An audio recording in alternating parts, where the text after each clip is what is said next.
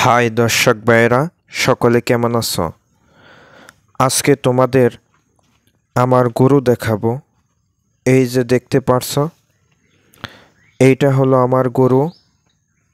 আর এই জায়গায় এই গরুটাকে পালন করে থাকি। আর ওই ওই যে দেখতেছ, ওইটা হলো এই গরুর বাচ্চা। কিছু মাস আগে এটা হয়েছে। দেখতে পারছ, ক্যামেরার দিকে কেমন করে তাকিয়ে রয়েছে বাচ্চাটা তো এই জায়গায় আমি গরু পালন করে থাকি। তো এই গরু থেকে খুব একটা দুধ হয় তাও না। এক কেজি থেকে হাফ কেজি এই রকম হয়। দেখতেই পারছ, গরুটা খুবই স্বাস্থ্যবান নয়, যার কারণে গরুর দুধও অনেক কম হয়।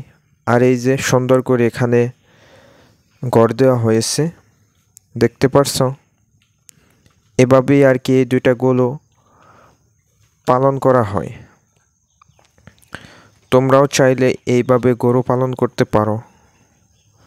এই দেখো, বাছরটা অনেক সুন্দর ছিল বাট এখন কালারটা কেমন জানি হয়ে গেছে। তো গরুটা খুব শক্তিশালী নয়, যার কারণে বাছর এরকম হয়েছে। তবে এই গরু থেকে অনেক লাভবান হওয়া গেছে। কারণ হলো, এই বাছর দেখতেছ, কিছুদিন পর এই বাছর থাকাকালীনই আবার ওই গরু মানে বাচ্চার জন্য প্রস্তুত হয়ে যায়, বাচ্চা নেওয়ার জন্য।